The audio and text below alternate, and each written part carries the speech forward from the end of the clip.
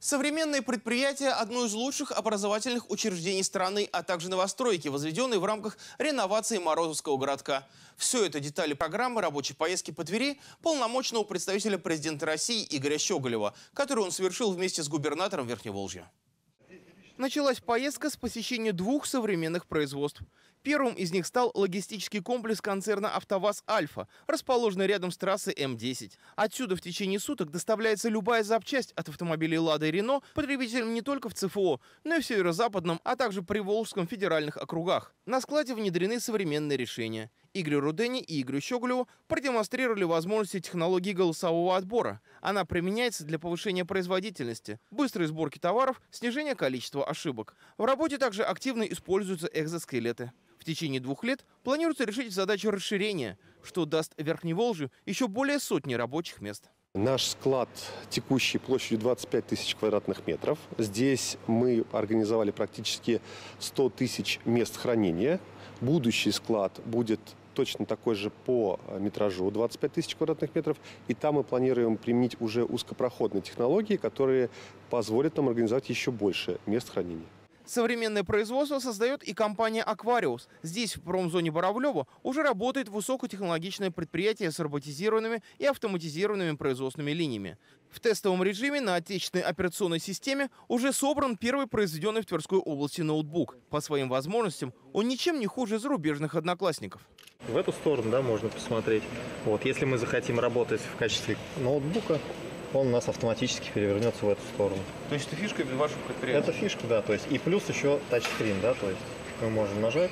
На конец октября здесь запланировано официальное открытие нового производственно-логистического комплекса. Предполагается, что до конца текущего года тут трудоустроят около 300 человек. В перспективе с открытием новых линий на предприятии появится около полутора тысяч рабочих мест. При выходе производства на полную мощность компания будет выпускать более 2,5 миллионов устройств в год. В настоящий момент средства вычислительной техники не только в ЦФО, в Российской Федерации выпускаем такой серийностью на, с использованием такого оборудования, в принципе, нет. Показали сейчас а, образец устройства. Это первое клиентское устройство, которое будет серийно выпущено серийностью больше 10 тысяч экземпляров на отечественном процессоре Байкал-М.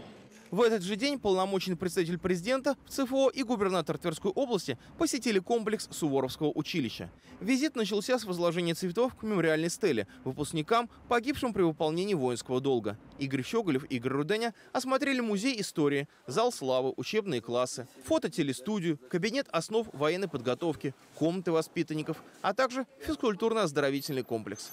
Завершающим пунктом рабочей поездки стали вот эти новостройки на улице Фрунзе. Они являются фактическим подтверждением того, что процесс реновации Морозовского городка стартовал. Как известно, первым этапом является расселение. И именно в эти дома переедут пока еще обитатели Морозовских казарм. Полномочный представитель президента и губернатор осмотрели квартиры в новых домах. Все они сданы под ключ. В каждой проведена отделка. Установлены электрические плиты, сантехника. В ходе общения с будущими новоселами глава Верхневолжья отметил, что Игорь Щеголев постоянно держал ход строительства домов на карандаше. Хорошие, все смотрели, довольные, очень довольны. и вообще очень хорошо. Ну и так и инфраструктура, и этажность, и свет. Удобная логистика. Главная школа, детские сады, площадка такая замечательная. Вообще красота. Нет, все очень замечательно, правда. Спасибо вам огромное всем. достаточно хороший. Новые десятиэтажные дома были введены в эксплуатацию в конце августа текущего года. Общая площадь под переселение составляет свыше 17 тысяч квадратных метров. В ближайшее время начнется переселение жителей Морозского городка.